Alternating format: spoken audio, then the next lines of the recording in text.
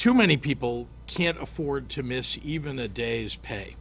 But then crises arise, sometimes seemingly small, sometimes catastrophic.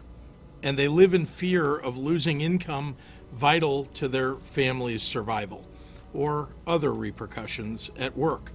In just a few moments, that's all going to change for Illinois' working families when I sign into law the Paid Leave for All Workers Act. It's a law that will guarantee paid time off for Illinois workers starting January 1, 2024.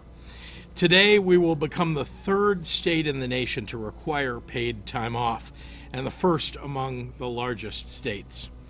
I'm exceptionally proud that labor and business came together to recognize the value of this requirement to employees and employers alike.